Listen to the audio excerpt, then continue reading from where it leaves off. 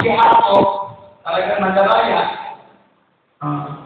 Bago pa, nakagawa ng mabuting na mga sinabi na ng Diyos kay Rika. Magigilig ko ang nakakanala sa pinakabata. Ang katotohan, maawa mo at kinaputan mo si Sam. Diba? Para si Sam.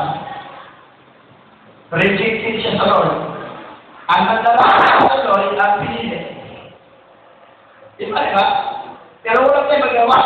Ng Lord sa sino ba tayo mag-question sa Kanya? Sabi ito. Sa susunod? Ang kung gawin ang hindi makatarungan ng Diyos, parang na, parang na, di ba? Hindi! Sinabi hindi. Sapagkat ganito